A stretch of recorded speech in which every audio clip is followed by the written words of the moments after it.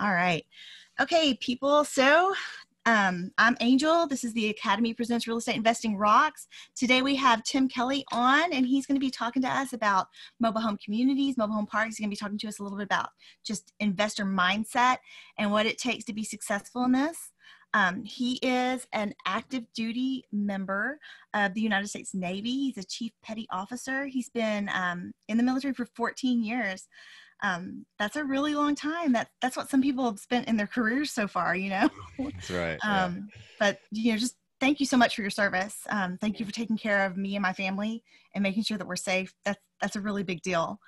Um, so he is also into multifamily, um, which is kind of where my passion is kind of heading as far as real estate investing. Um, but the other part of me is just this is our educational platform for our business, and this is where my heart is. Um, I resigned from teaching in February. Um, I was teaching middle school English, and so I will always have an educator heart. Um, I do still teach college economics, but it's just a little bit different than being in the public school setting. So, but um, this is educate providing education is where my passion lies. So that's that's kind of where um, all of this was born. And that's um, why we get along so well. so you're into education too? Absolutely. That's what we're doing with ADPI. I mean, I got a, a big, heart for educating and helping other people. So, yeah. So I had someone ask me the other day. Um, I think he was under the impression that I was involved in ADPI. And I was like, oh, I'm not. I said, but this is my understanding of how it works. And so I told him, like, I think it's, uh, you know, it's veterans, it's active duty personnel, and it's, y'all have like components in like a program where you can learn about different real estate investing niches? Is that? Yeah, right I, yeah, I can give a, an overview um, here in a minute. Whenever you know, I'm gonna give a, like a really brief bio um, about about me whenever you're done, and and then we'll talk about a little bit of what ADPI does for sure. All right. So um, if you want to go ahead and do that, you can. Cool. All right, guys. So uh, again, my name is Tim Kelly. Um, I am the the director of multifamily um, education w- with ADPI, and just um, uh, we're going to talk about mobile home parks today. One of my one of my favorite asset classes. Uh, once I got into multifamily, and then mindset because mindset is everything. Um, and, and we're, we're, we're going to talk about it. Uh, you know, a lot of us hear people say, well, mindset is everything. What, what does that actually mean? And, and what can we do right now today to improve that? And I'm going to give you guys a lot of, a lot of gold nuggets on how to do that. So, um, so like, like, uh, Renee said, I'm, I'm an active duty chief petty officer. I'm stationed in Pensacola, Florida. And I really believe that the military training that is embedded into military personnel are literally tools to persevere and succeed in business and especially in investing. So, um, lots of cool things there, and I think that's why we were all kind of bred to be, you know, very good business owners and investors. Uh, so, you know, on one of my deployments, I just had a stack of books about personal finance and wealth building, which I always was curious to learn more about, and I just kept coming across this real estate investing niche uh, is accessible to anybody that anybody could build wealth doing that. So, I just kind of dove headfirst um, into that, and I learned more and more and more about real estate. And now um, I'm the senior managing partner um, at Kelly Housing Group and at ADPI Capital, which is the active duty passive income acquisitions team. And uh, so at this point, I have over a thousand units, uh, both uh, apartment communities, mobile home parks, and now we're looking at storage facilities.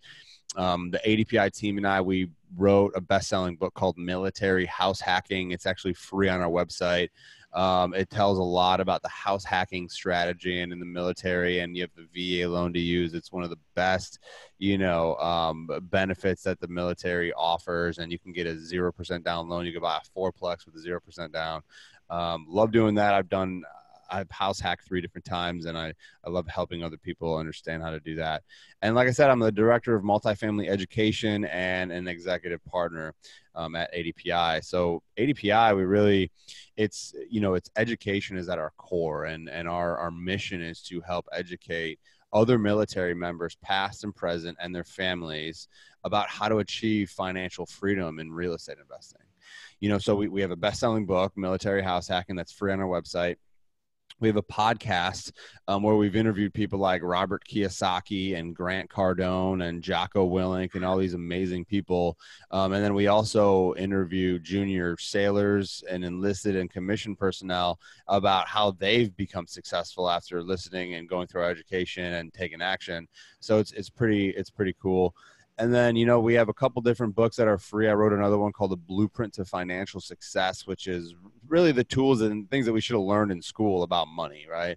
Um, the, the financial foundation principles that you kind of need to have in place before you could just dive headfirst into into real estate. So that that book is free on our website. You know we have a facebook group about 12000 members and growing. It's just insanely growing insanely fast. Amazing group a lot of value um, no soliciting allowed, so it's just straight value, and we we love um, you know engaging with everybody on, on on our Facebook group, and we have uh, you know an academy and a mastermind for the residential one to four unit strategy, and we have an ad, an academy and a mastermind for the commercial and multifamily. Because again, that's all I focused on, and that's I'm the director of the multifamily education, which includes that academy and the mastermind um, where we, I mean, we bring on guests that, that they, you know, all of our members have direct access to us. We give them an inside look at what ADPI Capital does. We're buying apartment complexes and mobile home parks, and we give them an inside look at how we raise capital, how we structure our deals, how we fund our deals, all that cool stuff. And, um, we have you know we have a mortgage brokerage to fund deals better than most people who most lenders out there big banks especially that think that they're awesome veteran va loan experts and, and they're not um, they're really not serving the veterans well. So we, that's why we established our own mortgage brokerage. We established our own insurance brokerage so we could fund uh, policy whole life insurance policies, which we believe are the best place to provide uh, pr- you know uh, preserve capital. Um, so you know, and we have a whole network and and um, a coalition of certified agents that we can connect our members with too. That we vet, we interview them to make sure they're the best of the best, and and we connect them with our members. And so we have a lot, a lot happening, a lot going on, a lot coming in the future. Um, so that's just a little bit about uh, myself and, and ADPI. And I hope I, am pretty sure we all have a why, right? My my why is uh, all kinds of stuff, but this, this is my beautiful, lovely wife Allison, and we love being active in the community. We love traveling. We love giving back to the military. Um, she she's uh, supervising one of the largest USO, which is you know you see a lot of USO centers in in the airports and stuff like that but the USO is really a place, a home away from home for military members, whether you're in Afghanistan or Iraq, overseas in Africa, or you're here at home. Um, and, and she, you know, manages all the volunteers, all the different programs.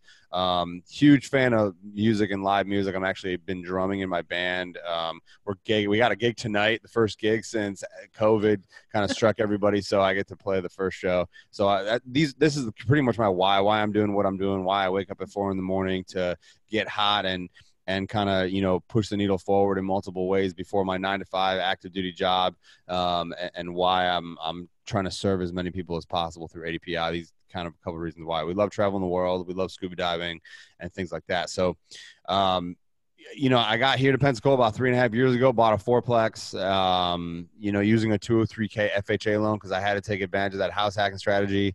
And then six months later, I bought a 42 unit apartment complex with these five fine gentlemen.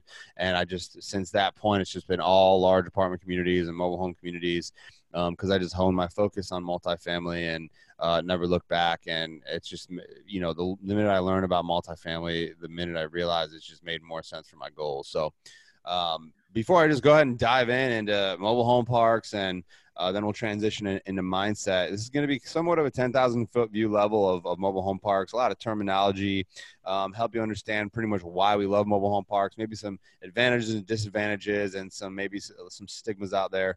Um, do you guys have any questions at all for me before before we go ahead and get started here? Um, well, um, Keisha Ann had asked me, she said, you know, is single family better than multi? Um, I think you probably heard some of the conversation I was having.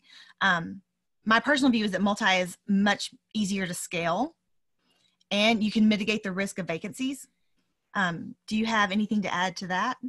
Absolutely. So, I mean, the, the classic answer is it depends, right? It depends on your goals, on your skills and abilities, on your, on your, um, your team members, on what you want real estate to do for your life. Um, there are people who are vastly successful who never touched multifamily who they you know they were in single families um, their their whole career but i do know a lot of those people are hurt the hardest during crashes during recessions during covid type type situations um, because it's one door and a lot of times it's uh, you know it's obviously more to rent a home than it is to rent a small apartment or a trailer park right or a unit in a, in a mobile home park. So um, you know it, really really really depends and there's not there's not an answer because it depends on what makes sense for you. Multifamily immediately made sense for me because i'd rather close one deal with a hundred doors than close a hundred hundred different separate deals with one door each. But there's pros and cons. I mean there are absolutely advantages of single family home than there is compared to multifamily. Um, so it really just depends on you. There's not one that's just ultimately better and if anybody says that there is, then just don't listen to them because they're either selling something or they're not experienced. Um, I personally probably won't ever buy a single family home ever. Um, even to live in, like I'm always going to try to scoop up a property to live in where it's, there's at least two, three, or four units because it just mitigates against risk. You have multiple units producing cash flow. You could have half the property, you know, vacant, and you could still probably pay your bills and maybe get some cash flow if you buy it right and it's financed right, right, and it's managed right. So, um, does that answer your question? I know she can't really respond to us, but well, I have the uh, chat window up, so I'm looking. She yeah. said yes. Cool. So and that was kind of, kind of like what I said too. And I mean, it's it's what your comfort level's at. Yeah. You know, are you comfortable in as a we aren't GPs. We're passive in force syndication deals. Yeah. So, you know, are you comfortable just putting money out there and letting somebody else invest with it? Yeah. That's a um, great way. I mean, a lot of GPs aspire to be a, an accredited passive investor like you guys, where they don't have to find the deal, negotiate the deal, do any of the work. They just take their cash that they've saved up over time and they have to learn how to vet the sponsors. They have to understand how to un- uh, un- kind of do their own deal underwriting and understand deals, what deals look like. Um, but that's it. That's true passivity and mailbox money. You sit back, you just invest your capital, you get a quarterly dividend, double digit returns, plus a K1, plus tax benefits, plus equity growth. I mean, you get, you capture a lot of benefits of, of, of real estate. Um, uh, you don't get all five profit centers when you're a passive investor. You get more. You get more so of those profit centers and all the benefits of real estate when you're a general partner, but you're doing a lot more work. Um, so it really depends on what makes more sense to you. Um, but if you guys know the cash flow quadrant, I mean, when you're a limited partner, you're on the right side of the quadrant. You're not exchanging your time for dollars. Uh, you are, it's true passive income and, and you're, you're an investor. So, um, but yeah, that's, that's awesome. I'd love to talk to you more about that. Um, and that's that's how we structure some of our deals are syndications some of them are jvs depending on what's going on but we've partnered with a family office at this point and they're funding all of our deals for us which is pretty sweet oh so. that's nice yeah, yeah. so any any other questions before i kind of dive in here all right. So um, she says, how do you find these mobile parks, and are these predominant in certain? In are they more predominant in certain states than others? Yeah. So um, I'm going to talk about how do you find mobile home park deals because then that actually applies to um, both apartment complexes and then and mobile home parks. Obviously, there's some different um, specifics to how you find mobile home park deals compared to apartment communities. But I'm going to get into that too, and and absolutely, um, you know, there's just like analyzing a market for an apartment community or even a single family home, whether it's a portfolio or whatever, just a, a sound investment. You need to understand the market before you even start looking at the numbers and the financials of the deal. Um, because it's something you cannot move. It's more an the you know an exterior impact than than because you could you can control a lot more of that investment. You can evict people. You could force appreciation by adding value. Um, you could do a lot to control the income and expenses on the property, but you can't do anything to control the market, right? So um, understanding the market, um, demographics, making sure that there's diverse um, employers, multiple strong employers that are growing, making sure that the population is slowly increasing over the last five to 10 years, you know, making sure unemployment is not below the national average. It's always helpful when the median home price is above a hundred thousand eat at least, and maybe more closer to 120 because if uh, the homes in that market are less than a hundred thousand, a lot of your potential tenants for affordable and workforce housing will be able to buy their own home instead of being one of your residents and your renters. So the median home price usually we like to be over, you know, 120,000 um, on average. And, uh, you know, the, the population not only should be going up, but it should be at least, you know, over 25,000 in, in that market or at least 50 miles away um, from a market that has at least 25,000 um, population. Um, but I tell you what, there's a there's a huge demand, and so I'm just going to dive right in, and and we'll kind of talk about a little bit of that. And please, um, Angel, you know, if I'm going through something, and and just just stop me if if there's questions with what I'm talking about. Otherwise, I'm just going to keep powering through. Good to go. All right, we are good to go. Mobile home parks. Also, if you ever hear anybody talk about mobile home communities or manufactured home communities, trailer parks, all the same thing. But you know, trailer parks is probably my favorite because it's got the stigma, and and that's what scares a lot of people. That's why a lot of people don't dive into them. So these are just some reasons why we love them. You know, it's a major solution to the affordable housing crisis. We all know there's an affordable housing crisis happening nationwide, right? So many people who need affordable housing do not have it provided to them. So if you could provide clean functional, safe, and affordable housing, it's going to be a sound investment if you're in the right market, right? And if it's marketed properly, if it's financed right and managed right, for every like, I mean, 10 people who need affordable housing right now, I think less than three, like 2.5 people have it provided to them. So if you can create affordable housing and market it right, um, that's why we love, that's why we love it. Um, and and there's no more affordable type of housing than than mobile home communities. I mean, the average apartment unit is over a thousand dollars a month, right? The average mobile home pad rent is not even three hundred a month. So think think about that. Like it's the most affordable housing. Um, so there's a lot less investor co- competition because, like I said, you know, there's a stigma out there. You know, trailer park boys and Eight Mile and all these you know assumptions that nothing but crime happens in trailer parks and domestic violence and drugs and all this stuff.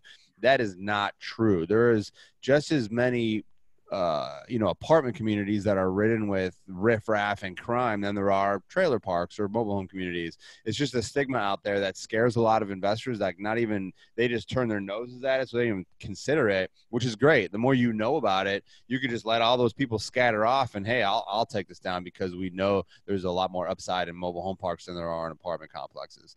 And so there's a far lower expense ratio, and this is one of the reasons. So you know the idea is is for most investors to get in and you have a split between park owned homes and tenant owned homes. Usually if you can the goal is to have 100% tenant owned homes where you own the ground. They not only own their own home they do all the maintenance they're in charge of taxes insurance repairs and they still have to pay you lot rent. And that lot rent is only going up, which is another one of the advantages here. Your lot rent, like I said, is like less than 300, uh, depending on the market. Some lot rents, like obviously West Coast, five, 600 a month, but a lot of the parks we're looking at, we're buying are like 200 or less than 200, where in the, where the market has room to grow up to like 300, 350. I mean, there's a lot of upside because moms and pops have been so afraid to increase lot rents over the last couple decades for fear of vacancy that there's just you you go in there. I mean, there's even if you bump it up a hundred dollars a month, it's still there's still no more affordable place to live, right? Obviously, you don't want to just do that. You want to be an empathetic capitalist, which is what we'll talk about here in a little bit. Um, you know, you're going to get people pissed off if you increase rent. If you go in there, buy it, and increase rents immediately that much, maybe 20, 30 a month uh, or 20, 30 a year um, but anyway, that's another huge benefit, and and we really believe it's the it's the housing with the highest returns because of kind of some of those advantages, and there's a lot more advantages that I, that I don't have really time to dive into. Uh, but there are some disadvantages, and it's not all rainbows, not pretty. Obviously, uh, there, there's a lot of things that that really even people who learn about mobile home parks are like, nah, it's not for me, um, which which is fine. We'll talk about those in a little bit. So, just some kind of basic terminology. If you know multifamily, you know A, B, C, and D class. Well, mobile home parks are often classified by stars. So, one star to five stars, where one star is like the hood, you know, the war zones. You don't want to go there unless you're carrying heat right at night or even during the day. But um, the five stars are like your 55 plus with bingo and shuffleboard and they have transportation and all gated community. And those are what we really really like. And that's kind of what we're shifting our business model towards because think about how many baby boomers right now are retiring and they're healthy and they just want to go socialize in a community that's safe and has all these amenities. And they don't need anything more than just a single wide mobile home you know? So um, park owned home POH. Like I said, when sometimes we buy parks where they're mostly park owned or maybe half park owned or some park owned, where you have to take care of the maintenance and the repairs. And, but at the same time, it's more rent. It's just like you're renting out the lot plus you're renting out the unit. So you have more opportunity for gross income. However, that income is not capitalizable. The lot rent is, is capitalizable. So that's another kind of thing to take into consideration. So POH, park owned home, TOH, tenant owned home. And then the mobile home, that term was coined in 1976 um, when realistically it was supposed to be called the manufactured home. And then people just started calling it a mobile home because it has a hitch because you could, you know, hitch it to a trailer. And the most affluent people actually, when these were implemented in the 50s and 60s and 70s, like the, some of the most successful and affluent people actually were the only ones to have mobile homes because they were the only ones to be able to afford it in addition to their home and so, kind of over time, it kind of transitioned a little bit. But mobile homes, which is another huge advantage, they're not very mobile, right? Once you kind of put a mobile home into a park and you take the time to level it, brick it, you put the skirting around, which is kind of the white siding on the bottom that's called skirting. You hook up all the utilities, you skirt it. In order to get that, in order to unskirt it, unhook all the utilities, move it, put it back down, level it, it, co- it can cost between eight to 10 grand sometimes. And most mobile home park residents don't have that kind of cash, right? So mm-hmm. that's why we love mobile home parks are not very mobile. Sometimes we do call them wheel estate, but what ten, the tendency here is that when a mobile home park is sitting in a park, it usually doesn't move for a long time. Um, which is another advantage over apartment complexes. A lot of times after their 12 leases up, 12 month leases up, they usually have a tendency to find a find a reason to leave. So single wide, double wide, even a triple wide. These are just some more terms. As you can see, single wide is just the normal trailers that you think. Double wide is exactly twice the size. It's just kind of two together. There's not a wall in between, but it's two together. Um, those are some dimensions for you.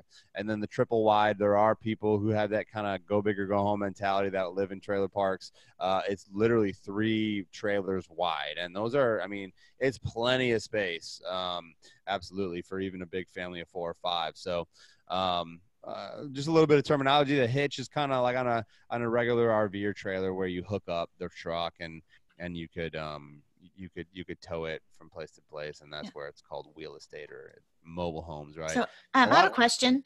Um, yeah. So if you've got you've got your mobile home community and you're renting out the pads, so single versus double versus triple, do you have different size pads for those capabilities? Yeah, absolutely. Yep. Okay. Um, we have a question. How many? I'm guessing bedrooms. It might be bathrooms, but I'm betting bedrooms fit in each.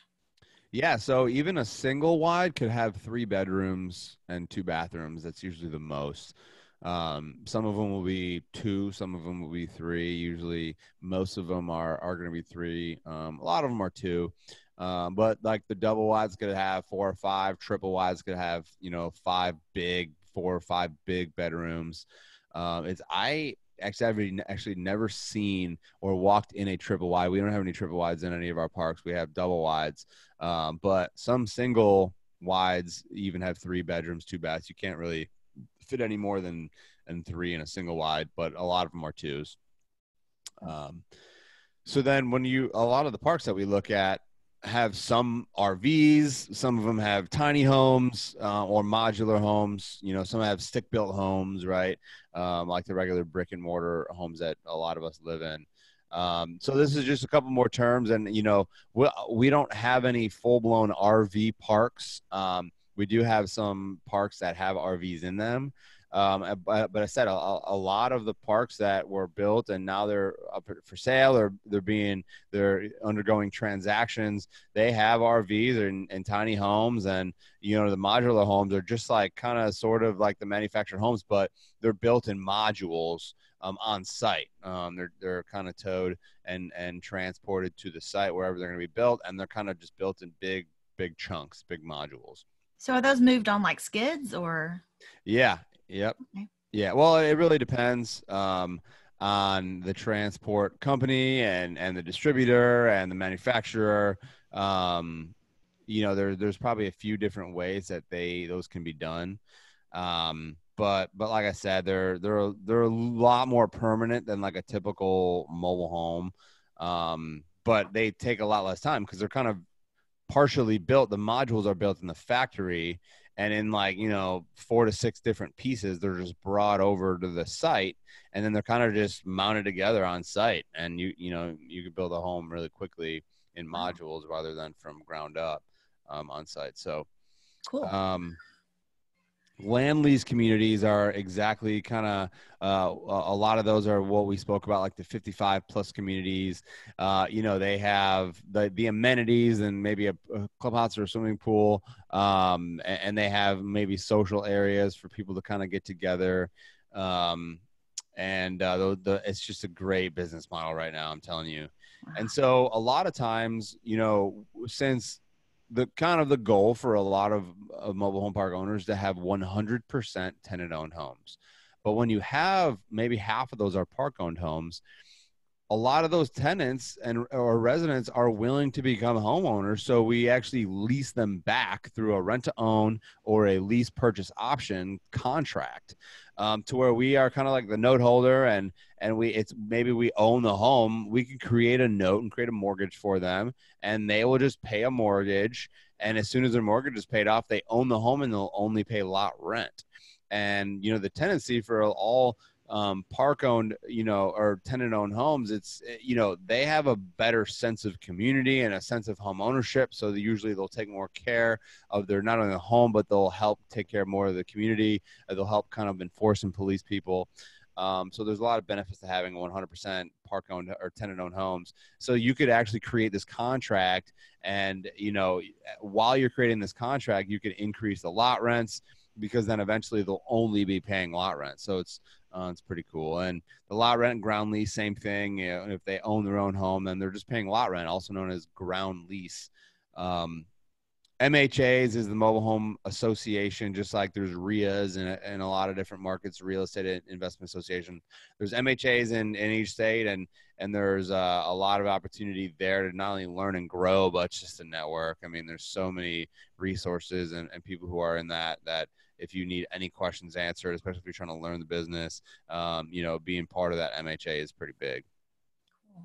And then uh, you know, stick built homes, just like a lot of them, a lot of us know with the, with sticks, two by fours, and and then you know maybe brick around them or whatever. Just those are stick built homes, and a lot of times the parks will have a single family home, maybe where when it was constructed, the owner lived there and then managed the whole entire park, right? Sometimes there's duplex, sometimes there's a fourplex, sometimes you'll have like a small apartment complex on the site. So it really depends, but a lot of times there are there are, are those homes and um, most likely that's a stick built home situated in a mobile home park won't get the same amount of rent as a the same exact st- stick built home, you know, half a mile down the road in like a nice neighborhood. If it's the same exact thing, usually if it's right in a mobile home community, it's not going to get the same amount of rent as if it was outside, like in a in a nicer neighborhood. So, I have a question. When you said yeah. that you created the notes for like the lease to own, yeah. Now, it's my understanding that mobile homes have a title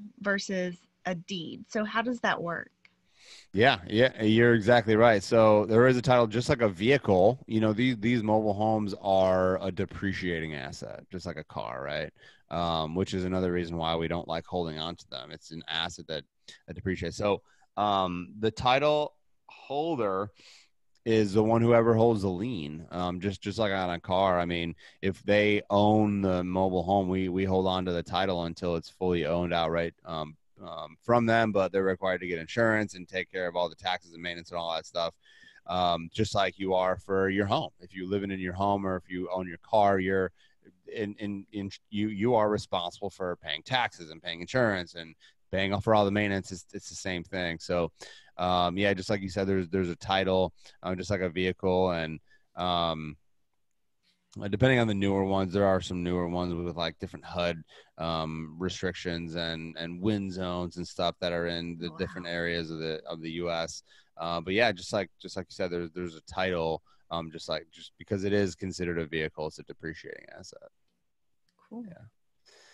So let's talk about the the ways to find deals, and this is a little bit different, um, but very similar to to apartment complexes. So um, you know whether you're interested in mobile home parks or not, this is a good way just to find deals in general. So um, kind of just like you've heard of maybe LoopNet or or Zillow, another public listing site for mobile home parks is the mobilehomeparkstore.com. And so, uh, you know, a lot of people think, you know, LoopNet has this bad reputation and this is where deals go to die, right? Um, but a lot of times, you know, because it has this stigma and this reputation, a lot of investors overlook deals on LoopNet and they're not even paying attention to it, right? So, um, not only is it great for practicing, maybe uh, just analyzing deals and getting your kind of getting your your reps in and just you have to analyze a lot of deals in order to get good at analyzing deals, right? So a lot of times LoopNet listings have the financials right there, ready for you to just do a full underwriting. Um, and but at the same time, and this is actually the, the, next thing is LoopNet is a great place. Mobile Home Park Store is a great place. Crexi is a great place to find brokers, which is the second place. You know, um, connecting with brokers. You know, one of my mentors told me, you know, uh, one broker could make you wealthy, right? One broker could uh, uh, assist your financial freedom journey and make make you very very wealthy. Nice. Um, there's a lot of brokers out there who um, are straight salesmen. Um, that that's kind of what they do. They they only get paid if it closes. So a lot of them will just kind of tell you whatever you need to tell you whatever they need to tell you in order to just get the deal closed, right? Uh, but some brokers are great, and and and uh, you know building relationships with the right brokers is is what we do to find some of our deals and then some of them are just other creative ways that we find our deals but you know the keys to to, to broker relationships is trying to get them to show you their pocket listings or their off market listings, right? Where it's not just, hey, I'm listing it on LoopNet or I'm listing it on Crexi or I'm listing it on my brokerage site where everybody sees it because those are, especially right now, there's not, those are not considered deals. People who buy those deals either negotiate those deals way down or they overpay, right? So the goal is to get the pocket listings or the, the, the off market listings in order to do that, you just need to prove to the broker that it's worth their time to spend with you, right? Because again, they don't get paid unless they close, uh, unless you close the deal. So you have to prove to them, a, you have the capacity to close the deal by showing them you know what you're talking about, you know exactly what you're looking for, you know your exact criteria, you have the cash or you have access to capital to close the deal and then you know what strategy is you're going to imp- implement you know what exit strategy you're going to use and proving to that to them and then following up is key and that is how you kind of get on the on that pocket listing side and and uh, you know could, could have the broker show you those off market deals um, so angel do you have anything you want to add or any questions from the group um I am not seeing any. Um, I, will just kind of add to the pocket listing idea too. Um, yeah. It's kind of like if you're shopping at a jewelry store or like a boutique clothing store and the owner like you're there enough that the owner gets to know you and know who you are and what your tastes are they're going to be more likely to hold stuff back for you. Um so it's if if people have a hard time understanding like what a pocket pocket listing is it's kind of like your broker is holding stuff back because they know what you like and they know what your capabilities are and so they're holding that back for you. And if if you know you let them know what your exact criteria is and they don't have anything but 3 weeks later you follow up with them and then boom all of a sudden they have a deal that meets your criteria who they going to think of you know? You're the one that gave them your exact explicitly clear criteria and you followed up you know? Just because they don't have a deal right now for you doesn't mean that they in in two weeks they they won't you know? Um, so it's really important to to, to do that and um, you know the the other thing is really really really important that i can't stress enough um, the people who you uh, like brokers property managers any kind of agent or investor or partners you know the key is to partner with these people and the key is to get to know them and be interested in what they want out of the transaction. It's not about you. It's about how could you partner together to get to the same finish line right? And if a broker sees that you're like interested in what their goals are and what they want and how they got into real estate and you know some of the ways they struggle and overcame them and their successes and uh, do they invest and what do they like to do for fun um, you're going to not only build a bond, but they're going to think about you when they have a deal that meets your criteria because you took the time to be interested in them and get to know them a little bit. This is a relationship business. Building relationships with everybody that you come into contact with in this industry is just going to put you at a huge advantage. Um, so you know, don't forget don't forget about that relational aspect. It's super important. Yeah, well, and one of just one of my little tips that I kind of throw out there, and I, I, probably shouldn't ever tell anybody about it, but in my own personal database, I have a column that is like weird fact or like something that kind of sets that person apart in my memory, and I'll put that down.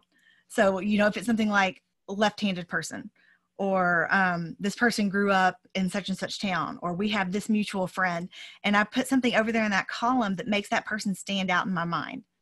So there's always that that relatability factor because that's um, i think that's really huge when you're trying to build relationships quickly is becoming very relatable very quickly and gosh just be genuine be yourself be authentic because humans weed that out and you can just tell and it's really off-putting when someone is clearly trying to be something they're not so. so that's so amazing and that's such a great idea um, you know i don't i don't have a system down like that but a lot of times when i save uh, you know a contact in my phone i'll, I'll say hey he's an investor and he's active duty or this and that and then i usually try to have something that like you said that helps them stick out that i could you know when i go touch base with them i could bring that up and help break the ice and help them understand that i actually remembered that and that it, it means something to them because like i said man people could see right through you know um,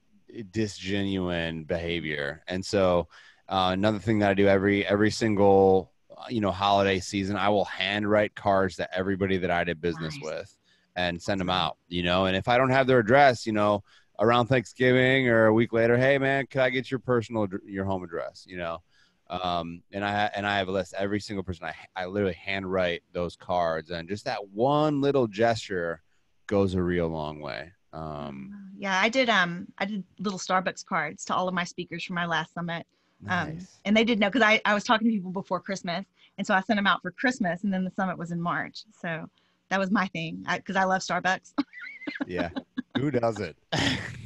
oh, I have people that don't, and I'm just like, what is wrong with you? Well, they're probably lying, or they just don't like spending five bucks for a cup of coffee. I mean, uh, maybe. yeah.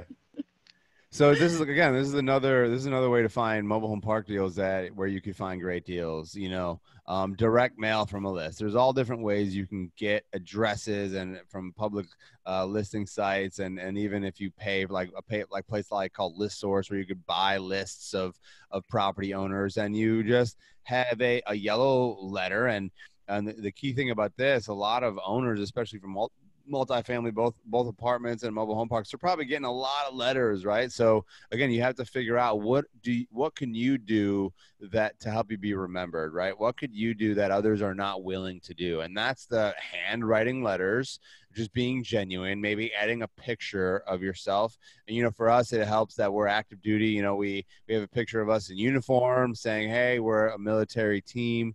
Uh, we're we're showing other investor or military personnel how to achieve financial freedom in real estate." we want to buy up as much of America as possible, especially if they're military or they're in a military family. That's an immediate bond.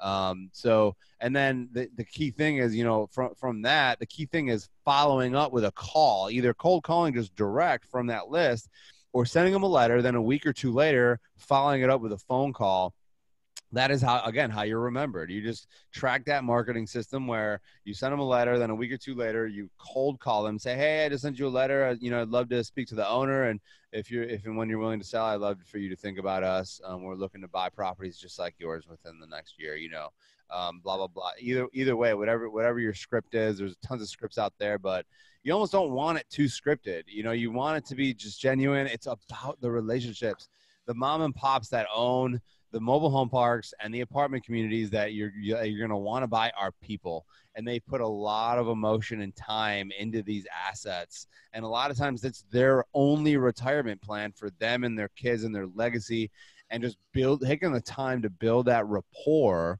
and getting to know them and then remembering something about them and calling them a month later say hey i'm the one and you know i learned that you love nascar or i learned that you do this or that you also live in the same city that whatever and just building that rapport following up. I mean cold calling is a great way just to be yourself on the phone and just ask questions about them about how they got into real estate about um, you know the story behind their deal and and why are they selling and just obviously you'll you'll uncover a lot of just asking really good questions, you'll uncover a lot of the story and maybe what motivates them. And getting to know them is not only going to be build rapport, but it's also going to reveal that kind of their pain points.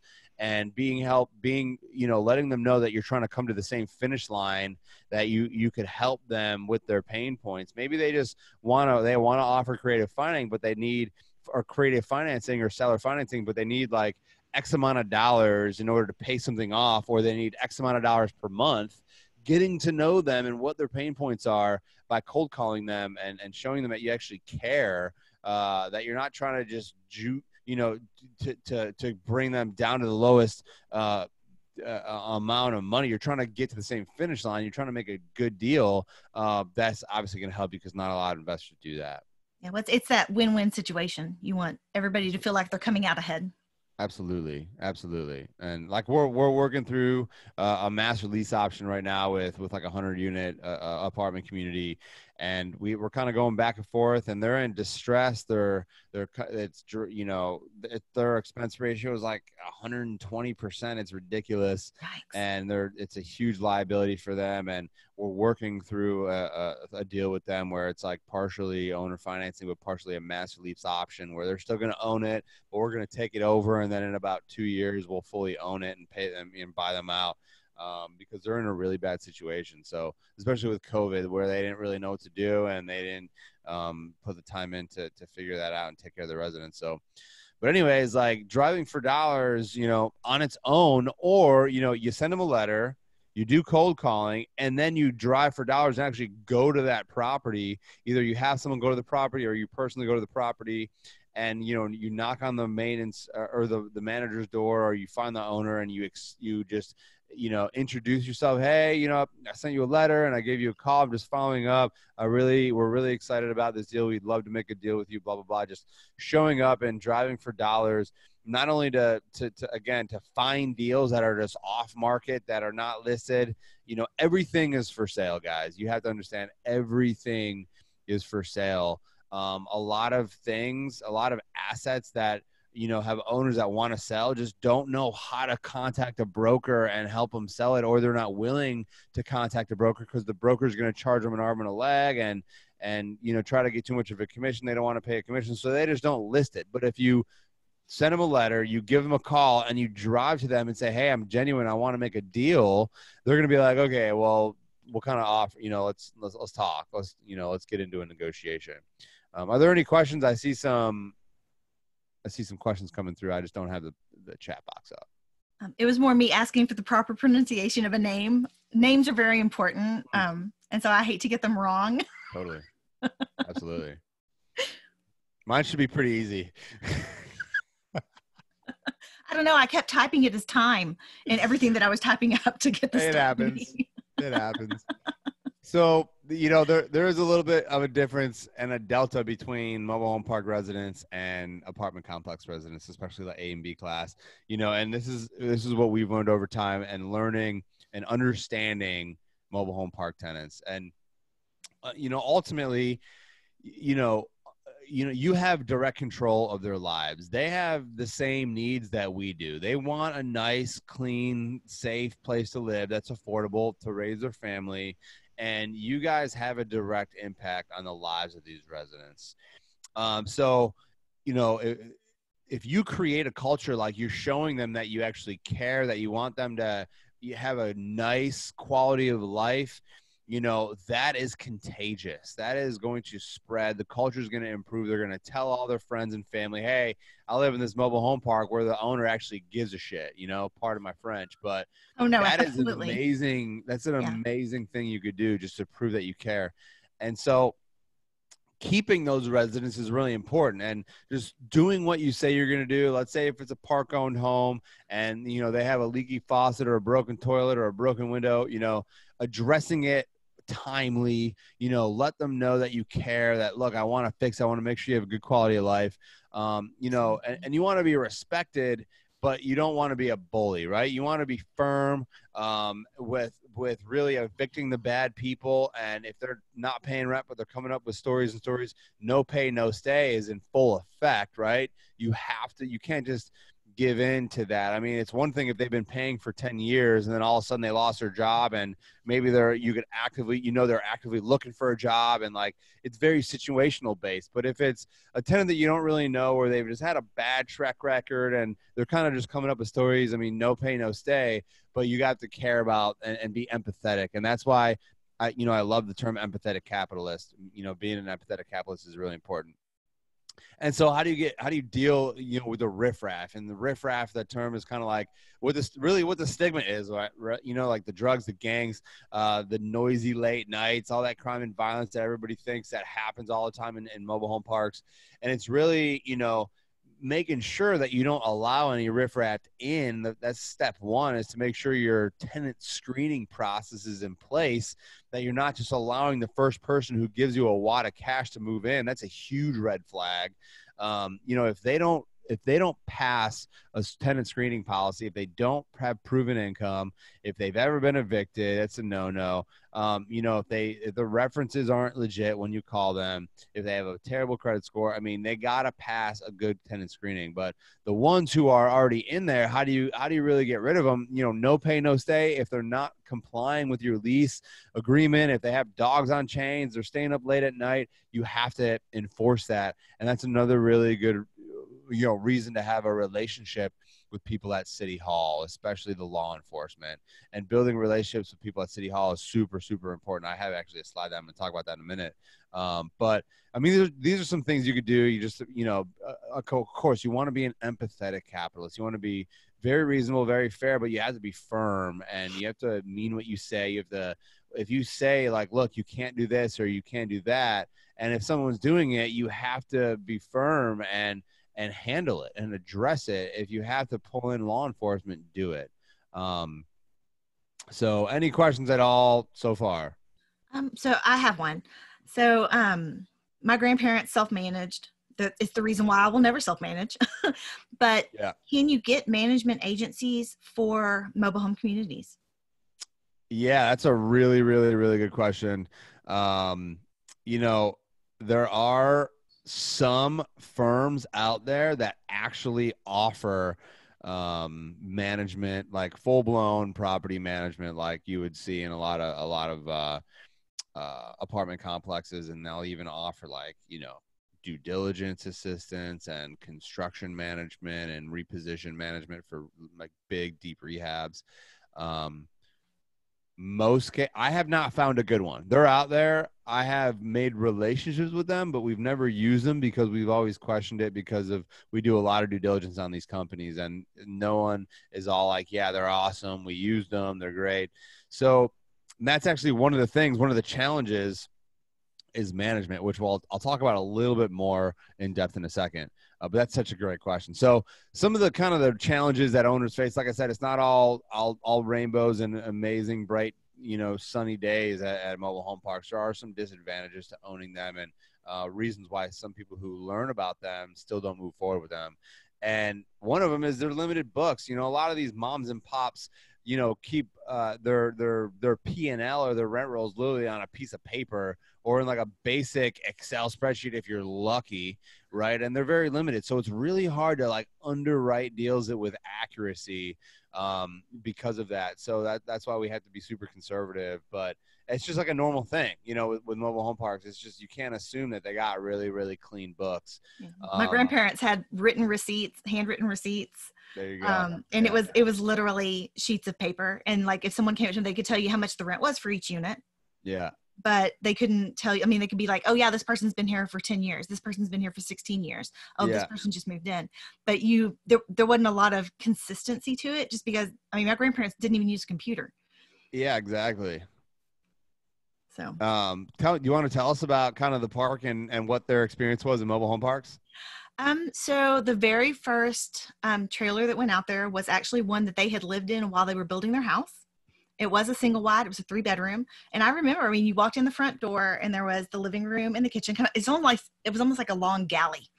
So you know, you've Yeah. got you've got the living room, the kitchen, and then bedroom one to the right. Walk down the hall, bedroom two to the right, and then at the very end was the master bedroom. So that that was the first one. The next one was like a really small, and it was literally a travel trailer. And when my grandfather passed away a couple of years ago, um, I was going to take over some of that stuff. And the resident in that travel trailer had been there 16 years, like for real, 16 years. That's, I'm telling you, that's how long Um, people stay in these parks, man. yeah, it was it was a long time. And then the one across from that was a little. Um, it was a two bedroom, but my grandparents had because they owned them all. So my grandparents had had an additional bedroom built onto it. So it was like this hybrid apartment trailer thing with a porch. Yeah. um, and people really enjoy renting that one out. And then they had a double wide in the front that um, usually had families in it.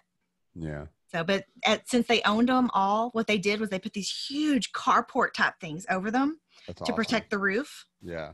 And then um, they would put out clotheslines and things like that just to assist people. Yeah. Um, at one point, they were going to do a small um, like washateria on site, um, but they never really got around to that. So it was um, lots of ideas. They wound up putting storage units in the back of the park. yeah. um, yeah. Yeah. That's awesome, man. So was There's a lot of different ways to add value to parks, and one of the biggest ones right now is storage units. Um, you know, creating those carports. Um, you know, and there's a lot of buildings that are existing on these in these mobile home parks that are just vacant and not occupied. You know, there's no use for them. You could turn them into storage units, or you could turn them into some kind of community, or maybe like a, a laundry facility or something like that. Um, well, and a lot of times the residents will rent the storage units from you. Yeah, absolutely. No, exactly. That's, I mean, yeah, you would put storage units in there for extra added value.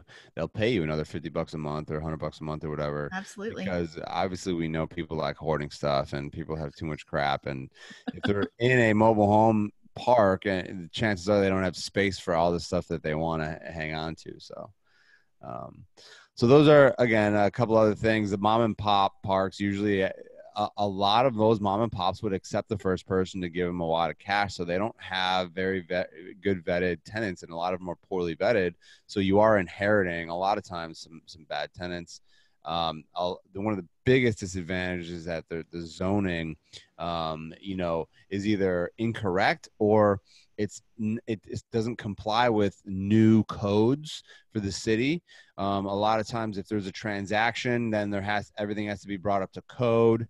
Um, that that that's a huge thing, and and uh, and so with that, I'm going to say, you know, a lot of people have questions on, hey, well, what about developing new parks?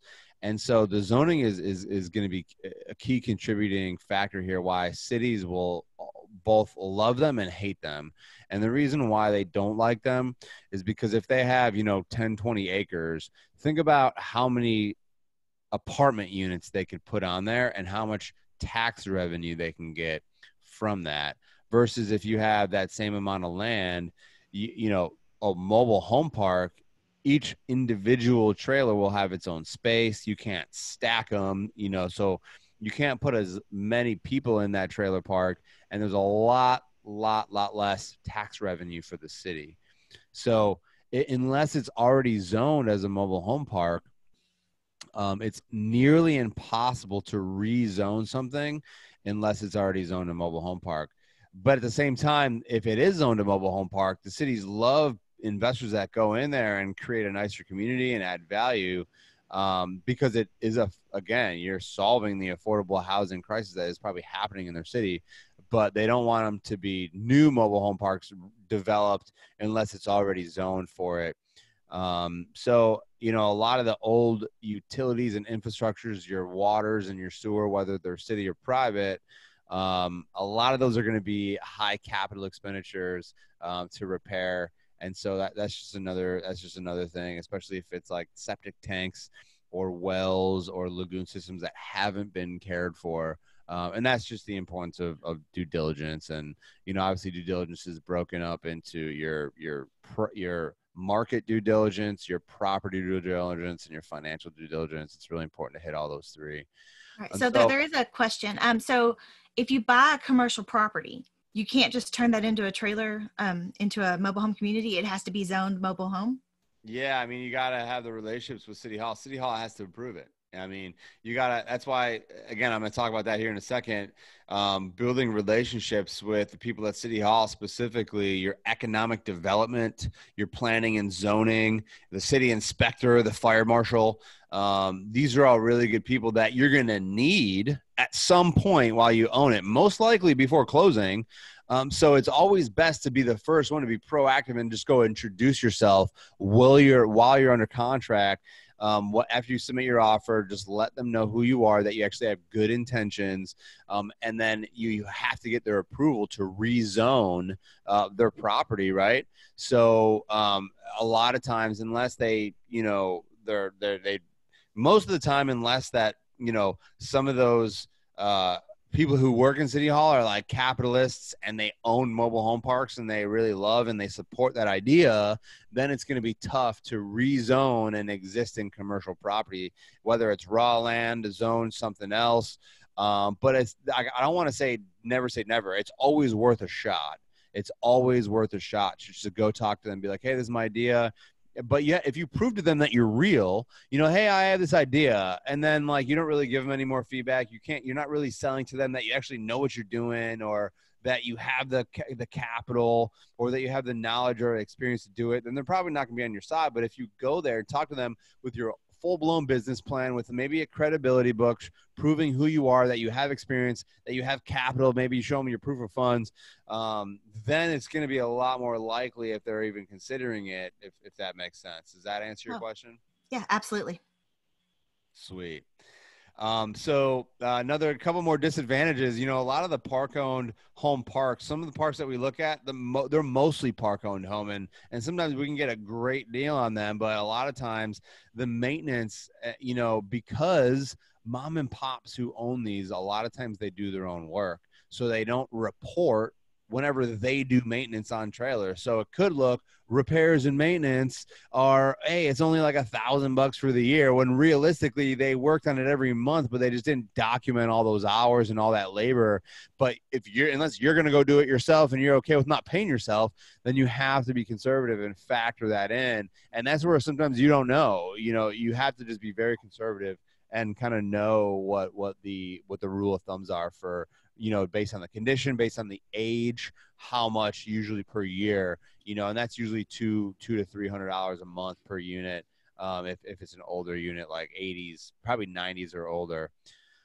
Um, so many many parks are situated in like the southeast or the Midwest where there's tornadoes and hurricanes and stuff like that. So just having the right insurance. It doesn't mean that you shouldn't buy because some of these that are in these flood zones or in these hurricane or tornado zones haven't had any kind of disaster hit them in years and years and years that doesn't mean it won't. That might mean that hey they're due for one right?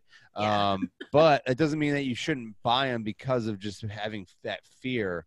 Um, flood zones are a little different. A lot of times if it's in a flood zone it's because it actually has flooded in the last five to ten years um, and it's caused damage but that's the purpose for due diligence. That's the purpose for ins- the right insurance. Um, and you know if something happens having a contingency plan for what you're going to do with your residents um, who can't afford to move or can't afford to stay in the hotel. So again, that's that's the right type of insurance coverage, and and make sure you you you're building a relationship with the right insurance broker for those types of situations.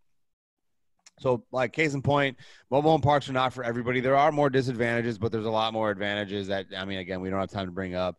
We love them. We buy them. There's always a way to, around to figure out every obstacle. But a lot of these disadvantages are what scare people away, which hey, make more opportunities for us to just figure it out. Maybe put a little more time and effort, maybe reach deeper into our networks and who could help us and who's done this already to go just go figure it out, right? And be that have that success mind. So um, these are some kind of keys to profitable and successful investing and and so some of these do apply to, to apartments and mobile home parks. You know number one you have to make sure you understand the market and you do your market due diligence. I talked about that um, kind of before and and the key metrics are here at the bottom.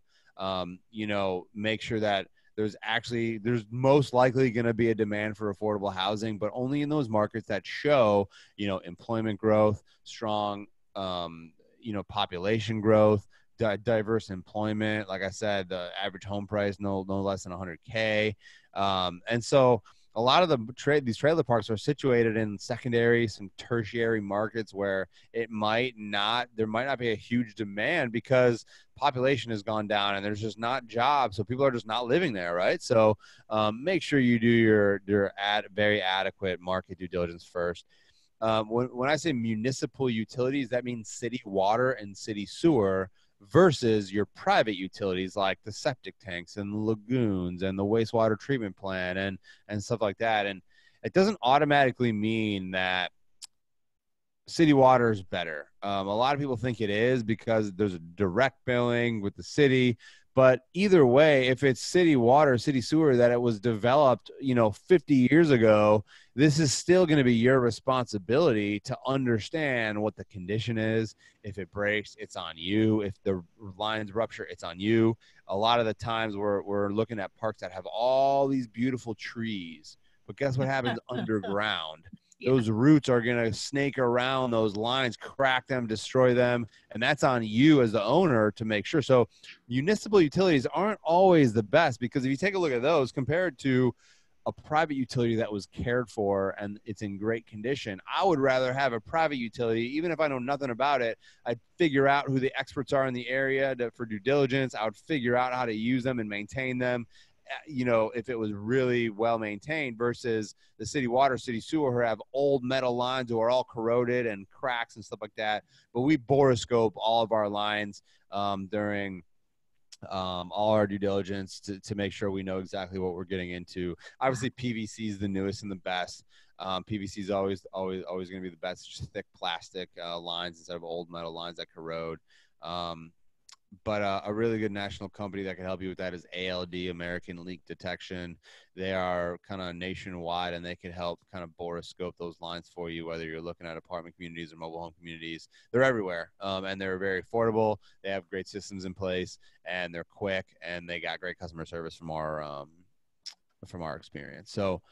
Uh, another thing when you're analyzing deals, you know, sometimes it's park owned homes. You have a lot of park uh, unit or unit rent plus lot rent. But when you're factoring in for analysis, only only add in the lot rent itself. Um, again, that's the all that's capitalizable, and also most owners who own these park owned homes are going to eventually lease it back to the resident. So you're going to eventually lose that income. So it's always best to only factor lot rent into your numbers when you're analyzing deals. And uh, you know, in addition to that, you know, um, moms and pops and regular owners, even if they're sophisticated, they will put a value on those homes. They will put a value on that gross park owned rent. Um, so you, I mean, just just understand that you, in order to be the most conservative and to buy it right, it's only you, you know make sure you're only factoring lot rent into your numbers.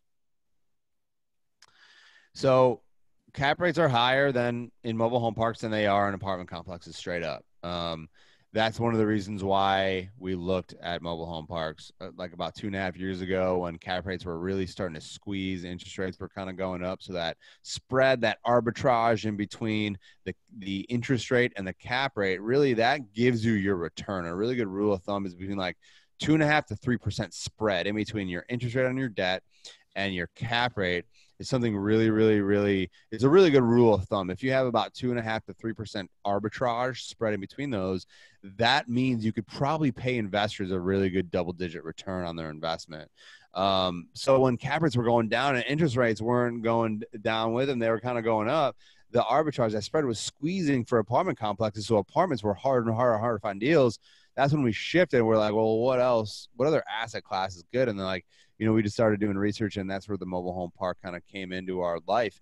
And we're like, look, this is this is this is there's an opportunity here. Let's let's dive in. And so usually your cap rates are going to be higher on mobile home parks versus um, versus apartment complex and and sometimes uh you know there's reasons for that I, I i went over some of the disadvantages for that you know if you look at an apartment complex an a class apartment is not going to be a high return but think about how much less management intensive it is versus a d class you know apartment that you're going to have 15% cap rate, but hey, you're going to need like security there 24 7. You're going to be dealing with some, some uh, like obnoxious behavior, right? So um, it's kind of the same thing. I mean, you know, the higher cap rate, usually the more management intensive it is. But if you have 100% tenant owned homes in a good market and it's good roads and it's good utilities and, and, and uh, I'm, I'm telling you, it's one of the best investments you could make and kind of going back to an empathetic capitalist, right? Pushing rents fairly but relentlessly. We talked about how a lot of times lot rents are way below where they need to be, way below market. But that doesn't mean you can go in there and increase lot rent 100 bucks a month right there on the spot. Um, consider, and uh, this is going back to understanding your your mobile home park resident, right? Um, imagine if you were living in the mobile home park and you're making like 30 grand a year, 40 grand a year household income and all of a sudden your landlord went in there and just increased lot rent a hundred dollars a month. I mean, for us, that's like you know, for us living in nice apartments or nice homes, that's if our rent or mortgage went up like four or five hundred bucks a month. That's like the same thing, right? Respectively. So um, usually 20, 25, maybe 30 bucks a month um, for the first year, right? If and and that's if you justify by cleaning it up, you know, improving the landscaping, improving the signage, getting rid of the riffraff, enforcing laws and or enforcing rules. Um, even if it's way below lot rent, you, you know, be an empathetic capitalist, and I'm telling you, it's going to come back uh, very, very, uh, very well for you. And so, getting to know the right people at City Hall, I mentioned this already. It's so important that you go introduce yourself to these people because, especially in the mobile home park arena, there's a lot of crappy slumlord mobile home park owners, right? Especially if like you take a city where most of the mobile home park owners are crappy slumlords. The city is going to see, hey, this one's for sale. Hey, there's going to just be another crappy slumlord that's going to buy it. So they're automatically going to assume that that who is who you are and what your business model is. But if you go are proactive and you introduce yourself to City Hall, this is who we are. We're good people. This is our plan. We are serious. We know what we're do- we know what we're doing. And then you make a decision and, and you talk to economic development, the planning and zoning, the city inspector, you know, the fire marshal, even like a smaller tertiary, secondary markets, you could go directly talk to the mayor. I mean, if you talk to the mayor and build rapport with the mayor, you're going to be at a big advantage when you need them. Uh, and, and, uh, you just, again, this is going back to the whole partnership thing. You're partnering with the city to make sure this is a successful asset for you. Um, so this is just a really good thing to do. We implement that in all of our due diligence pro- due diligence processes. We make it. We build a relationship with people at City Hall. What questions you guys have? Because this this part fires me up. I mean, I love mobile home parks, but the mindset game, how to win the mindset game, this part fires me up. So I hope you're I hope you're awake, and if you got some questions, please ask them. But I'm All about right. to get excited here. Okay, so um, there is something here. It says um, if you purchase something as a park owned, everything's park owned. How would you move from park owned to tenant owned? Yeah, that's a really good question, and there's so many strategies to do that. Um, there's a, there's a lot of people who are looking to move into a park that want to be um, owners that are willing to be a, be a park owner or a, a homeowner um, and maybe they have some skills right? Maybe if you have like a fixer upper uh, one way to do it is if you don't really charge them for the home itself but na- maybe it needs a little bit of love they can come in as a handyman special and they'll work. You could literally just donate the, the, the, the trailer to them or maybe like for 500 bucks or like a thousand bucks super cheap um, depending on the condition and the market. And then not only will you offer them um, a very affordable or free unit, you're going to have someone you're going to have them fix it up for you, but then you can bring your lot rent up to market, right? At the same time. Um, that's a great way to bring your lot rents up to market and make a homeowner very happy, right? And get a unit that's going to be fixed. You're taking a risk doing that unless you could like confirm that they have those skills. Maybe like it's a really good, you know, kind of to keep in mind. They have to prove that they're that's what they do for work. You know that they work in construction or they're a handyman or they work, you know, Home Depot or something like that, where they are they're around they have those skills. Um, but another way, even if they don't have those skills, maybe it's a nice home. Um, offering it for very, very, very affordable, or something like like a dollar a month or something for the first year um, having them move in for free, but again, bringing that lot rent up to market, especially if lot rent's below market. Um, and then, like I said, just rent to own. Um, you're offering this nice home uh, for a very affordable mortgage, whether it's 15 grand, 20 grand, depending on the, you know, uh, the condition where you are you're you're the middleman. Uh, so, uh, sometimes, sometimes there's these other cool distributing companies that are manufacture and they distribute, and they will create a mortgage between the the resident and them, and you're kind of the middleman because a lot of times you're supposed to be a licensed broker or dealer in order to sell the mobile home. So if you're not, that's where you have to just be very careful and make sure you understand the local laws. Um, where you, you can't just create a mortgage out of thin air. It has to be some kind of um, it has to be some kind of promissory note, um, and and that's it, that's legal and compliant. So make sure you understand that, unless you have a third party doing that doing that for you. So you're talking about like a what is an R R M L O? Yes. Okay. Yep. I don't remember what the letters stand for, but I remember the letters. yeah, no, no. It, that that is um it that is just the that is that is from my understanding and i've never actually dealt with that that just sounds really familiar that it's that that's kind of like the license and the training and certification that you kind of need and have to go through in order to be able to sell mobile homes to be considered like a broker dealer. Um but every state is different and just again make sure you understand your local laws and um, i can't say this is how it is for the whole united states because every single state and every single city is, is very different. different. So cool. Any other questions before we talk about mindset? I am not seeing anything. I think right, guys. Mindset is everything. Okay. and I say that because you could know all of this stuff about mobile home parks, about multifamily. You could have the most knowledge about real estate investing, enough to be the most successful real estate investor ever. But if you don't have the mindset to go with it, it's not going to mean anything at all. And you if you don't have a success mind, you won't be able to grow to be that person to achieve those goals you have. So and that that's when when you hear people talk about mindset, a lot of times what I think about is is just mindfulness and understanding what successful people how they think and how what sets them apart. And it's it's their mindset. It's not how much money they make. It's what they the amount of value that they can give to other people based on their mindset. And they know they're forever students and they continue growing as a person so they can deliver more value to more people. And that is what they receive in abundance. So you know the biggest thing a positive mental attitude is literally just contagious and a negative attitude is like infectious, right? It's almost even worse. It spreads even worse. So if you have a positive mindset, like if you consider what you're saying to yourself and your self talk, that's going to translate into the attitude that you pretty much convey to other people and to the world. And that is what you will receive back at you. So, I mean, would you rather have, you know, success, like positive results or negative results? Because it starts with your self talk and and that positivity is really about how you react to things. And when something happens to you it's it's not about what happens to you. It's 10% about what happens to you and 90% of how you react to what happens. Absolutely. okay? And if you have a positive mental attitude like regardless of what happens no problem. I got it, man. Someone else has dealt with this. I'm, I'm going to be able to deal with it too.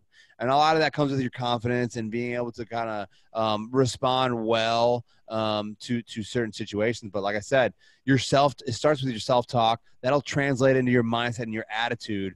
And your attitude will turn into your actions and how you act and your behavior and what you convey out to the world. And that's going to generate your results. So be very close, pay very close attention to what you're talking to yourself in your head um, are you eh, you know is your self-talk helping you or hurting you? Bottom line. Like are you inspiring yourself? Are you motivating yourself? Are you saying i'm never going to be able to do this. Man i'm i'm in so much pain. There's there's you know there's not enough time. I don't have enough time. I you know i'm not smart enough. You need to cut that out right now today um, because you have to give yourself that positive reinforcement up here before you can go make it happen. Yeah. now there's still times where it creeps in because like of course. Like I mean, we're only weeks, we're only human. Yeah a couple of weeks before the summit like i was crying and i was like i'm done. I can't do this. I can't make it work. And i was on a i was getting on a podcast with my friend Peely and she's like it's already a success. It's this it's a success because you're doing it. She's like you're doing great. And here, I was just the, like oh. here's the the couple takeaways from that. And and first of all we're only human. It, it's, it's going to happen especially from our fear driven society.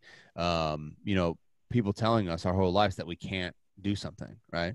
And so first of all it's, it's, who you surround yourself with. Like you said you had a friend or a partner or something kind of give you that positive reinforcement and lift you up instead of pull you down.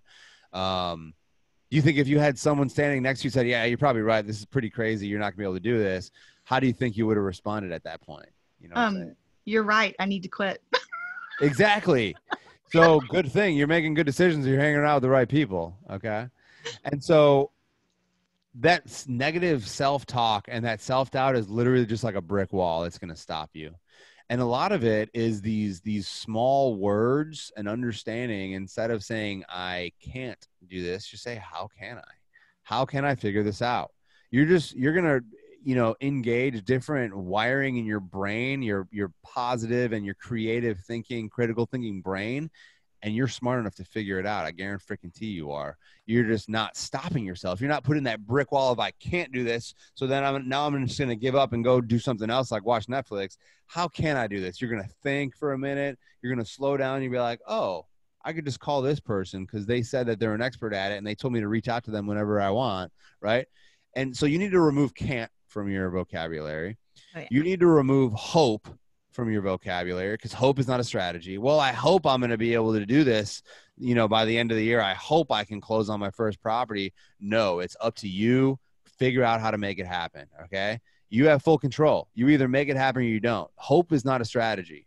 That's what people who invest all their money in the stock market are doing. They're hoping that it goes up so they can have enough money one day to live off of and, tre- and, and treat their families well and, and, and live in retirement. Right. And so remove can't from your vocabulary, remove hope from your vocabulary, and there's one more. And remove try from your vocabulary. You're not going to try to hmm. do anything. You're not going to try to get into multifamily. You are a multifamily real estate investor and you will successfully become a multifamily real estate investor. And you tell yourself that every day, those affirmations are going to help you figure out how to do it because a try is another word for well the first obstacle i'm going to fail and just give up. No i'm not going to try ever, anything ever. I'm not going to hope for anything ever and i'm not ever going to tell myself can't because i'm going to say how can i? And that all goes back to your why. I mean this this really goes back to your why. Why are you doing this? Is it deep enough? Is your why emotional enough? Is it meaningful enough to get you through those brick walls and those i can't and all those people who say you can't and all that fear that our society brings on us? Is your why deep enough. So I think there's another slide that might talk about the why. So it's so important. I mean, going seven layers deep is an exercise that I think we should all do um, all the time. But next is how you know how do you brain feed? What are you exposing your mind to? Are you watching the news, the CNN, the constant negative news, all that bull crap that's on the news? You understand that their goal is to get ratings and make money. So they they're just trying to give us information to get ratings and to raise drama. They're not trying to give you information because they want to inform you. All right. They're giving you information to make money and for high ratings. So are you exposing yourself to negative, you know, media, or are you exposing yourself to the inspiring books and podcasts and things just like Angel is doing for you guys? She's creating these amazing, you know, the, these amazing, amazing educational, uh, you know, this content you're in the right spot if you're doing this. How else are you brain feeding? Are you surrounding yourself with the right people? Are you know who are you influencing on so who are you following on social media? What influencers are you really paying attention to? Right? Are you looking at the? Are you hanging out with the people who gossip um, and talk about other people? Are you talking? Are you hanging out with the capitalists and those entrepreneurs that have a success mind?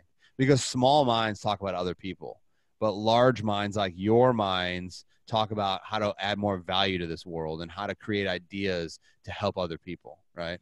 So, and i would i would just add there like so i went from i'm not going to say all teachers are negative they're not. Um, but i went from my w2 where i was a teacher and i went to a few of my teacher friends. I'm like hey we should do a summit like what i'm doing for real estate for education.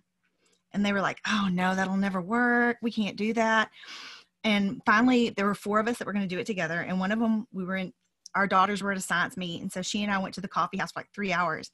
And she watched me like taking calls doing messages and all this stuff for the summit that was upcoming. And at the end of when we were fixing to go pick our girls up she was like you know this is i think we can do this. Um, but it was a long process. Whereas when I'm surrounded by people in the real estate investing space, it's like I can come at people with the craziest idea and they're like, oh my God, yes, do it. Yep. And it's just, it's a whole different group of people and a whole different mindset and it's a whole different support system. Totally. So man. it's absolutely important. Absolutely. And, and like you, you but when you said that, I, I couldn't, uh, you know, help thinking about the fact that as I be, have become a better investor, I've just been, be, I've just become a better person because in order to be a successful investor, you have to grow as a human. You have to just learn how to add more value to people in different ways. And so as you become a better investor at the same time you're just becoming a better person you're going to be able you're going to become a better leader a better you know spouse you're going to be able to communicate better lead better you know you'll have more work ethic you'll just be figure out ways to manage your time and decrease stress and all this other cool stuff. Um, and that's another thing I love about real estate, man. It, you know, the sky's the limit. And if you want to reach that sky as an investor, I mean, you're just going to have to be that much better of a person and a, as a human, and you could just help that many more people, right? So, yeah. Well, and um, and honestly, we all want to help someone. Yeah. It's it's it's just such a different community. It's not oh look at what she's wearing. It's more like mm-hmm walking up to that person and saying, "Hey, um, you know, your tag's hanging out, or you know, you're this is going on with your skirt or something." You know, it's it's that support versus let's talk about somebody. Um, and the other thing I've noticed too is that first off, you're going to surround yourself with people that are, are where you want to be, and those people are going to help you get there. And so it's just it's a completely different kind of community. And it's you're absolutely right. It's like i don't even know how to like really put it into words. It's just it's so yeah, it's 180 degrees different from any community i've been involved in before well you've made the choices to put yourself in those environments. A lot of people want to achieve what you've achieved but aren't willing to go to the conferences and network with people and put together this amazing academy and and help other people and add value to other people's lives. Um, you made intentional decisions to put yourself in those situations and that's why you've grown you know um, to who you are and that you won't stop. And i mean people like people like us dude i mean you know people you know that that have that you know scarcity or fear mindset will look at you and be like oh my god you've achieved so much. But i think deep down we know we haven't even scratched the surface yet like for well, what we're going to going to accomplish and our, our ambitions and the amount of people that we're able to help right haven't even haven't even scratched the surface. I mean yeah. Well it's like what you said with the scarcity versus abundance mindset. Um, the the first group of people that i was with have a very set scarcity mindset. Whatever i consume takes away from what they can consume. Mm-hmm. Whereas the reality is is there is a ton out there and we can all sit at the same table and we can all eat oh my god so much but it's um it, it's hard to get there and, and there yeah. are some things that i'm still like in that scarcity mindset but for the most part I've really grown into that abundance mindset. And it's, yeah. it just takes time and it takes yeah. surrounding yourself with people yeah. that have that mindset as well. It, it's, I, I want to, I have to disagree and say it's not hard. It just oh, requires a commitment. and a why. If you're if you're if you're committed and your why is strong enough, you're going to figure out how. I mean, it that, that that's bottom line. Most people who just say, "Well, it's it's too hard. I'm never going to be able to do it." They don't have a strong enough why. They don't have a desire enough to have them break through those brick walls like I mentioned before and figure out how. They're going to make up excuses. It's either you will do it or you'll make up excuses other known as lies, right? And just sit off and just be comfortable. And I think that's one of the most selfish things you could do because if you if you know how many people you could help you know that you can create a better life for your family and for legacies and legacies in the in the in the future behind you and but you're not willing to do that because you want to be too comfortable that's selfish it is no it's, all right. it is e to e ratio i love talking about this because this is all about time time is the one thing we can't get back right so how do you spend your time the most successful people have use this rule of thumb the E to E 80 to 20 education to entertainment ratio. You have all your free time, whether it's a, a, weekday where you have your nine to five, and then so before that, after that, maybe if you have any breaks, you take all that time. 80% of it should be dedicated on growth, education, personal development, building your business, you know, and 20% of that should be dedicated to entertainment, your hobbies. What do you like doing for fun? Taking your spouse on on a date, whatever it is. So that is where the mind feeding is. And here, here's like a hint is if we have the nine to five, right? During nine to five, the E to E ratio, right? The 80%, most of that should be geared towards building relationships and getting with and engaging with other people because that's your office hours. That's when the doors are open. That's when people are kind of hustling. That's when people are kind of uh, open to talk to other people. And most likely when you hit a brick wall you can't figure out how it's you're one conversation away from figuring out how to get around that or get through it okay you're one conversation away all right and that's either talking to angel reaching out to me and i'll give you guys my number. I mean i'll hop on a call with any anybody who's watching this right now and, and give you a free strategy session to help you figure it out right? You're usually one conversation away. You're a lot of times you're one conversation one podcast one book one, you know, you know, what article, you know, you're one person, one conversation, one offer away from getting to the next level, right? So the nine to five is people. Engage with more people during nine to five during the week, right? Before the nine to five, after the nine to five, that is where 80 to 20 is important. But you got to take your 20% entertainment seriously. That's when you're not thinking about business. You're not thinking about it. You're thinking about what you're most passionate about your family your you know your hobbies. Uh, for me live music you know i got a show tonight. That's my in my 20% entertainment. I'm going to play drums love to do that i love to go entertain people and, and play music listen to music um, so I love using this 80 20 E to E ratio because it's just so freaking important. Um, do we have some questions coming in? It looks like it. Um, Keisha just wanted to say, you know, this guy is obviously experienced. Great presentation. okay, cool. Thank you. yeah, I mean, this is this is actually straight from the multifamily academy um, that we put together. Um, you know, on, on, to teach military members on how to how to invest successfully in multifamily real estate. And there's a whole entire module just on mindset. And we had like we embed mindset into every single academy because it's so important.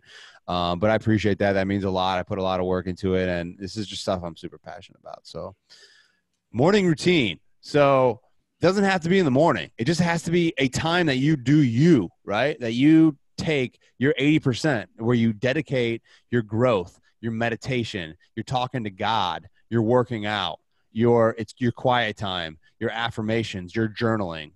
You have to have a routine where it's quiet, no distractions. That's why I love doing it in the morning between 4 and 5 a.m. I'm up because nobody's bothering me. It is my time to pound some black coffee, sit quiet. What am I grateful for today? What am I going to crush through today?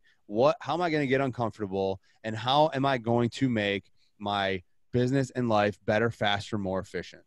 Those are the three questions I ask myself. I write every day and I read every day, but I ask myself those three questions. How can I make my business and life better, faster, more efficient. And it's pretty freaking black and white and easy. Okay, cool. All I have to do is this. And then I go do it. Right. Um, make it make sure you're taking time for you where it's super quiet and you're you're able to to to really have you time. All right. It's super important. It's something that all of the most successful people on our planet do. Okay. Successful people, the most successful people, manage their time better than most people because they value their time and others' time more than most people. Time is the only thing we can't get back. So I love being freaking frugal with my time. All right. Um, it's really, really important that you understand how your time is being spent, that you start tracking it if you haven't yet. The best thing I've done a couple years ago is I started time blocking, simply just using my iPhone iCal app, just the calendar app in your smartphone. From the time you wake up to the time you go to bed, what am I doing every 15 minute increments, right? That is how you just track your time. You know, you got to make a phone call, assign it a day, assign it a time, assign it a 15 or 30 block of time the next day or w- whenever it is you know? You know you got to crank out you know this lesson or you know you got to follow up with this person you know you have a meeting to go to you know you have a phone call with the team time block it assign it a time okay?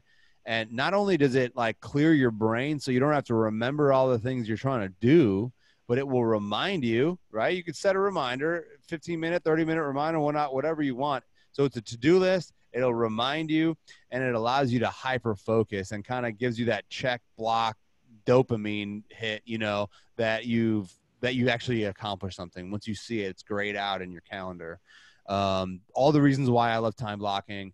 It's so easy just to do it. It takes literally five seconds to block a time out. And a lot of the time it's for you. Like I have my time blocked out when I work out, when my when my wife and I have like our bath time or our date time, when I read, when I study, when all my phone calls. It's just, it's your calendar.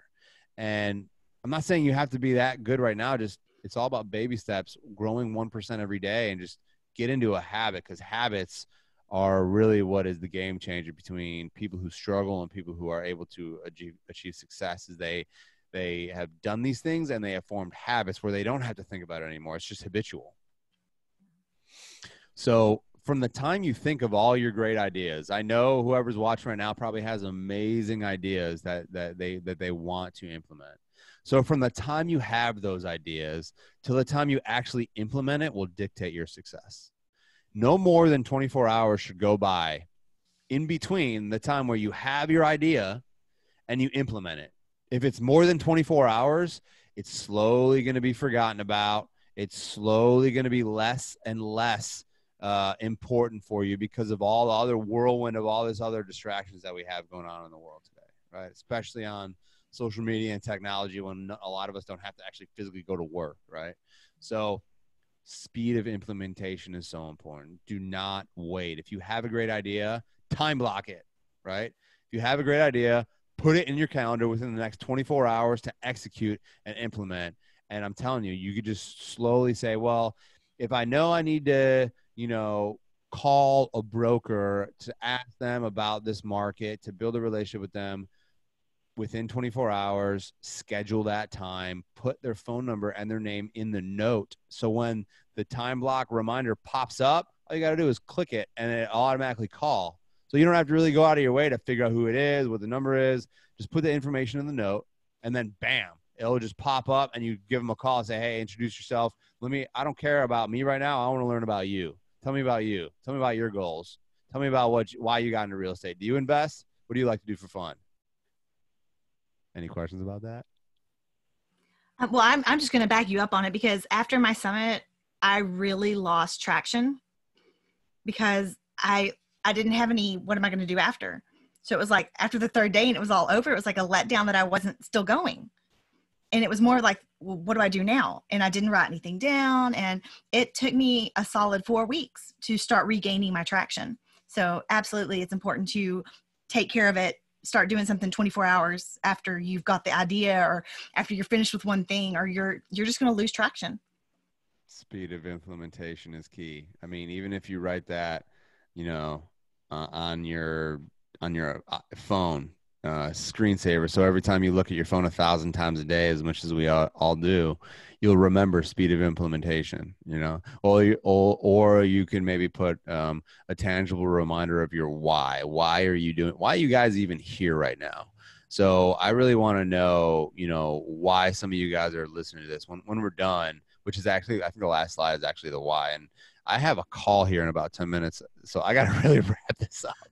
but I think we're almost done. Um, so, guys, health is wealth. I'm not going to beat this down. I mean, I just came from the gym. You know, not a week goes by where I'm really, really, really breaking out of my comfort zone in the gym five or six days a week because you break through barriers in the gym, you will crush through them outside of the gym. That's just how it works, man there's so many benefits. I've listed a bunch of them here. You're going to improve your energy, your cognitive function. You'll have better memory. You'll have better confidence. You'll be more happy. You'll have better relationships. You'll sleep better. You'll have more strength.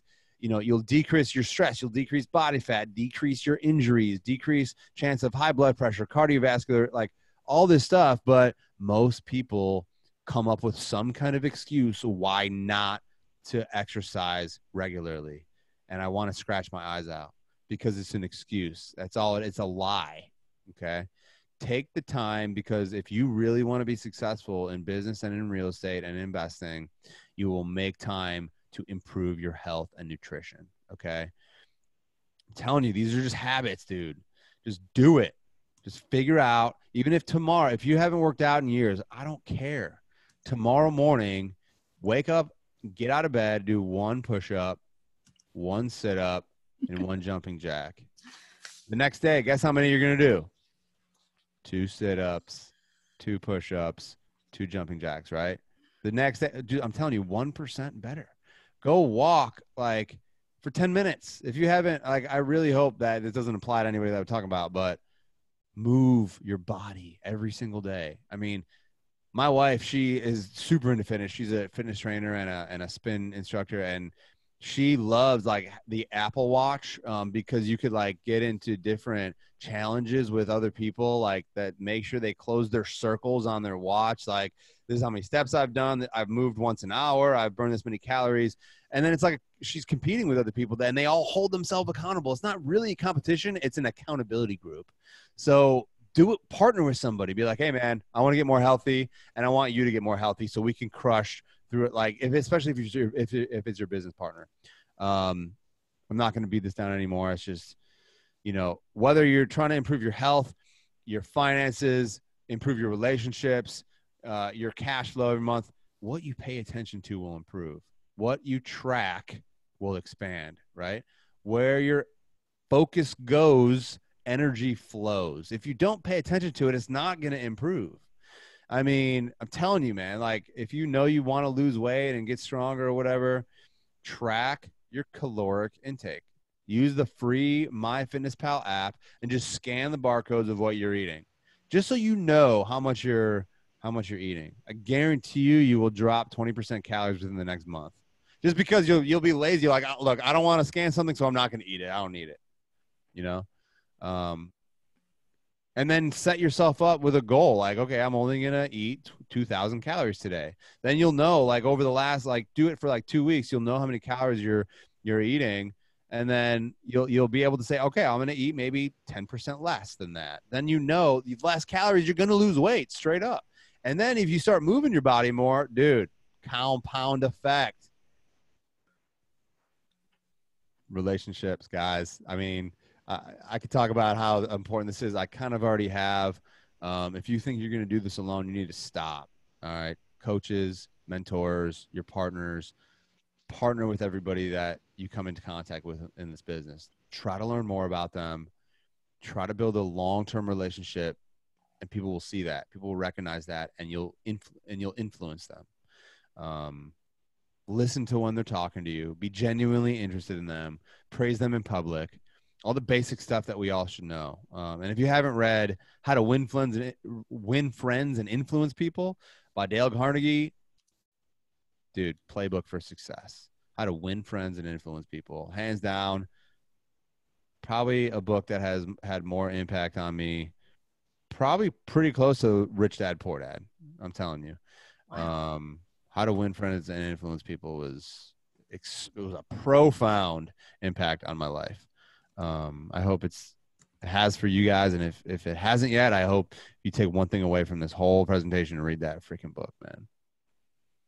Coaches and mentors. I mean, the minute I hired a coach and I like had paid mentors, eh, that immediately got me to the next level. Uh, this is kind of like the core five guys that started at ADPI. Um, these are my boys. I mean, we are business partners. We invest in apartments and mobile home parks together, and we've built this community now with the help of a lot of amazing people. Um, Victoria was added, uh, the girl that actually connected Angel and I, Jill. Where then, so there's our actually seven founders of ADPI. Um, but we all have coaches. We all have mentors. I have um, a couple different types of coaches. As long as I want to continue growing and continue adding more and more value to others, I will have paid coaches straight up uh, you guys, you already know you are the average of the five or 10 people you spend the most time with, like straight up. If you right now on the left, take a blank piece of paper on the left side of that paper, write down the, the 10 people that you spend the most time with.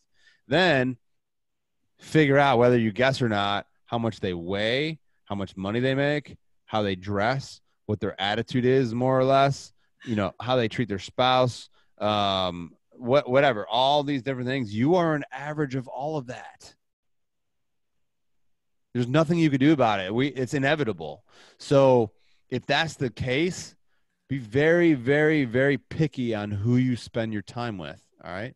Not only because time is so freaking valuable, but because those people are going to influence you are and and you got to ask yourself are they engines that are taking you to the next level or are they anchors that are holding you down all right minute you stop growing, you start dying. You are a forever student. The most successful people on our planet get to that point because they grow and they learn something new every day, straight up. They're readers. They they learn. They network with other people who are better than them, who are more successful than them, and they continue growing. All right. There's always more people to help. You just have to grow to become that person to help more people. All right to add more value.